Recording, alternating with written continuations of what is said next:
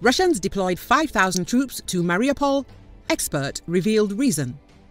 Russians have brought around 5,000 troops to the occupied Mariupol. They will be involved in constructing an alternative logistical corridor from Rostov-on-Don through temporarily occupied Mariupol, Berdyansk and Melitopol to Crimea, according to RBC Ukraine. I am confident that they have come to build a road along the coast of the Azov Sea to serve as a logistical artery.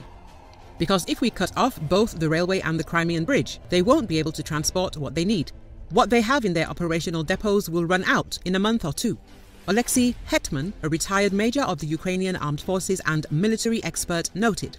Previously, RBC Ukraine reported that Russian occupiers are preparing for the loss of their logistical routes.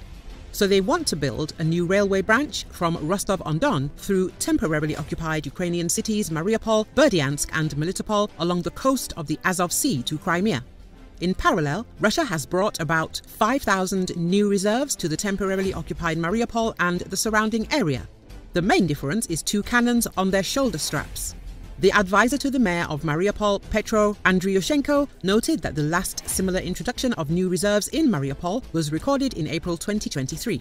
The new railway construction by the Mariupol occupiers is an alternative to the route that passes through the Volnovakha Tokmak Dzhankoi and goes further into Russia. This is an essential logistical link for the Russians. With its help, they supply their military with equipment and human resources.